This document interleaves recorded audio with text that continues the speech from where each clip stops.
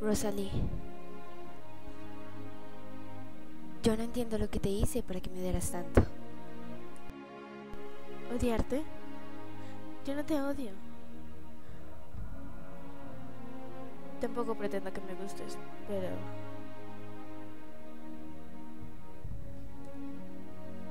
Bella, yo te envidio. ¿Qué? Eso es ridículo. No lo es. Tú tienes una alternativa. Yo no la tuve. Ninguno de nosotros la tuvo, pero tú sí lo estás haciendo mal.